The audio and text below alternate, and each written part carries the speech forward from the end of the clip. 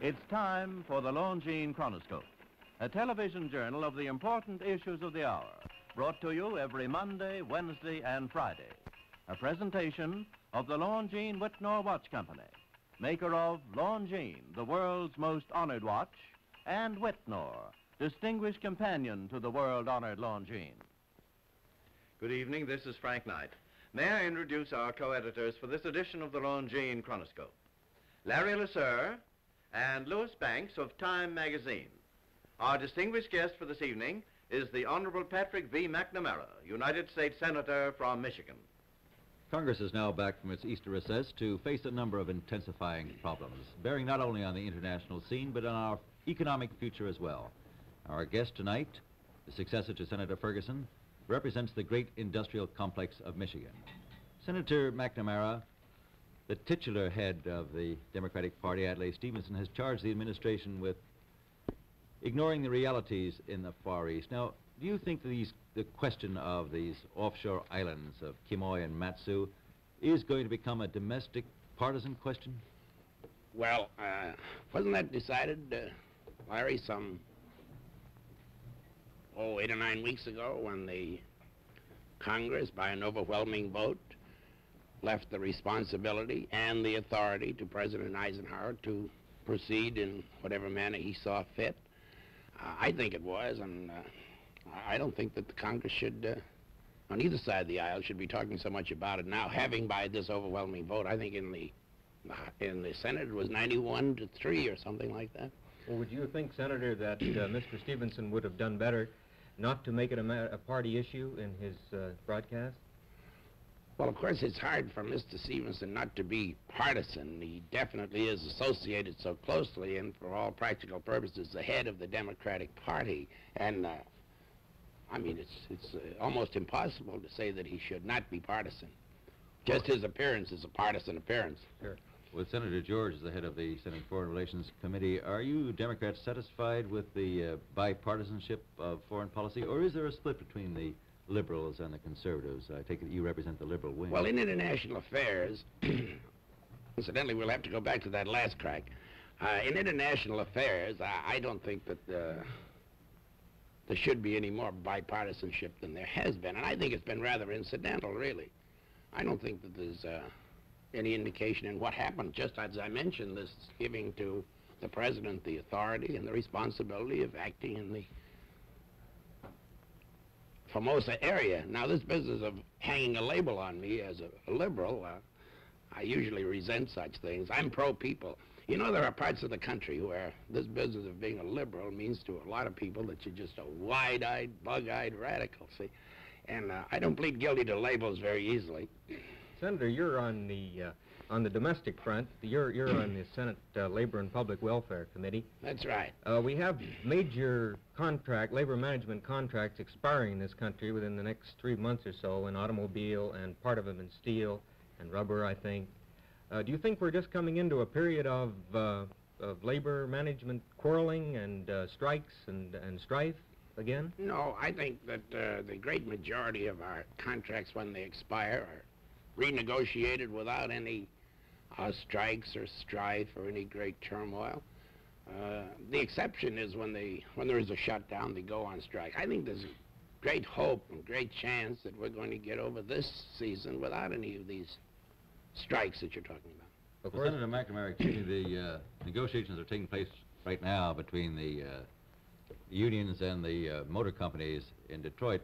Now, on this uh, guaranteed annual wage, which the unions are asking for, isn't that going to have a very far-reaching effect on our economy since the automobile industry extends into such so many industries like steel, rubber, textiles, etc.? Yes, I think uh, such a basic thing as a guaranteed annual wage is bound to, ha- bound to have an effect.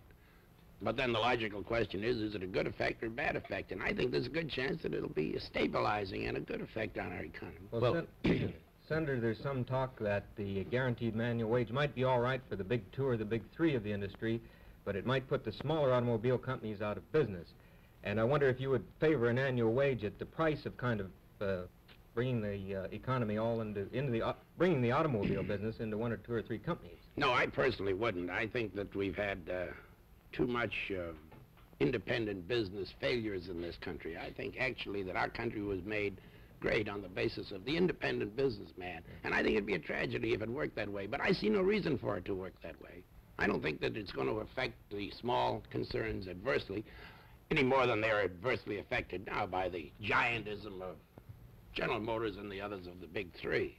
Senator McNamara, the uh, guaranteed annual wage will have a tremendous effect, as you said, if it if the uh, automobile companies grant it. If they don't grant it, the possibility of a strike will also have a tremendous effect on the automobile industry and all its associated industries. Now, do you think that those uh, that there is likely to be a strike following June when those contracts run out in the automobile industry?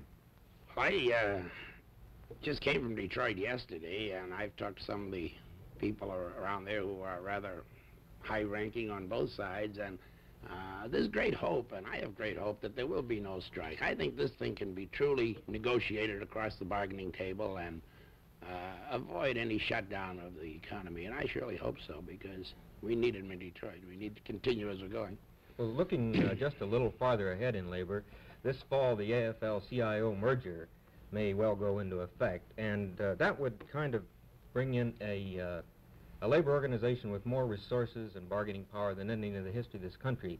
Do you think that's likely to change the whole basis of negotiation, that we will see more labor demands and greater labor demands than ever before?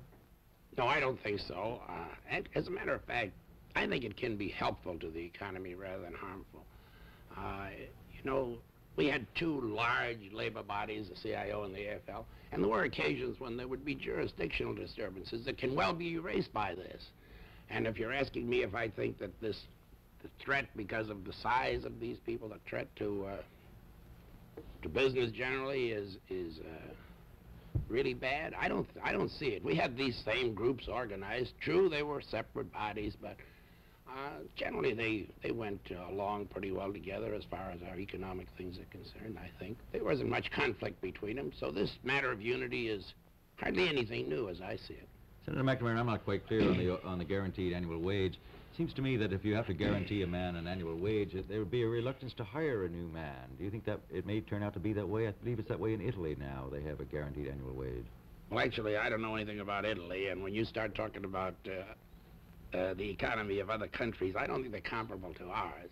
And I would hate to be accepted as an expert on labor, and maybe my answering these questions uh, would leave somebody with the impression that I was speaking for organized labor, and believe me, I have no right and no authority and no intention for speaking for them. They have able spokesmen on both CIO, AFL, and independent unions, and I'm not one of them. Uh, what was the basis? But I just asked if, if you had a guaranteed annual wage in an industry, would that mean that you, there would be a reluctance to hire a new man because you'd have to pay him a guaranteed wage? Well, not necessarily. You see, I expect that there would be reasonable provisions made for people uh, that were new, such as there is under seniority setups and uh, union shop setups. There are probationary periods that run anywhere from 30 days to six months in some cases, and I expect that there would be latitude made for these situations that might arise, such as you're talking about, although I, again, don't know. That would have to be negotiated, and I expect it would be co covered in this bargaining agreement. Well, Senator McNamara, I compliment you on your humility and your reluctance to speak as a statesman since you are a freshman in the Senate. But tell me, what do you actually regard as the, the biggest issue before Congress now that you are in the Senate? Well, you know, I think that uh, the consideration that has been going on of uh, federal aid to school construction is one of the most important things. Uh, I think that uh, we will not long be the most powerful nation in the world if we don't have a better educational system than we have presently. I think it's a tremendous problem, and I'm spending a lot of my time in that direction.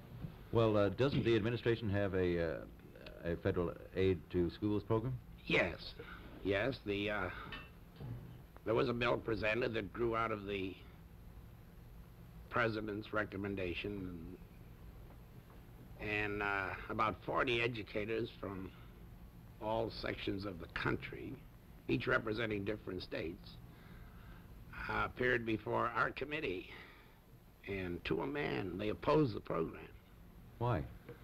Well, they actually what what the school districts are short of now is money. They don't have enough money to operate, and the president's plan basically is a very revolutionary one. It uh, it establishes that money shall be loaned through an agency that's to be authorized under this legislation, known as the State School Construction Commission. And uh, money would be borrowed through this agency to build classrooms by the school districts.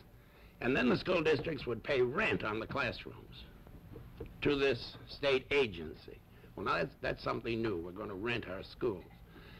But what are they going to pay the rent out of? They're going to pay it out of current income. Now, that isn't going to help some people that don't have enough money now. Actually, the effect of it would be that we pass on to our children or our children's children the responsibility of paying for the schools that they're using today. Now, we've got too far behind in our program, our, our lack of classrooms, a lack of more than 300,000 nationally. For this kind of a program to do the job, you've got to you've got to give them some direct federal aid. I think more like is uh, is involved in this bill S5, the Hill bill, that would, would uh, advance $500 million each year for the next two years. Well, why do you think it would be aid. better, actually, Senator McNamara, for the uh, federal government to uh, pay a larger part of this bill than the states themselves? Why it would be better? Yes, why do you think so? Well, the states have no opportunity to to uh, raise this money. Uh, most of the states can't have an income tax to raise this money. Many of them have income taxes now that are very limited. But the federal government has power through their taxing ability to uh, raise the money and raise it readily. And act- actually, it means returning to the states but a small portion. Now, under this S5 bill, the Hill bill, uh, the state of Michigan would have returned to it 1.1% of the money that they pay in in federal income taxes. A very small part. Now, there's no, there's no onus on that kind of money, in my estimation, if you're getting one cent out of a dollar back, to meet an emergency in the school situation. I think that uh, there's great justification for it. Well, thank you very much, Senator McNamara of Michigan. Thank you. The opinions expressed on the Longines Chronoscope are those of the speakers. The editorial board for this edition of the Longines Chronoscope was Larry LeSueur and Louis Banks. Our distinguished guest was the Honorable Patrick V. McNamara, United States Senator from Michigan.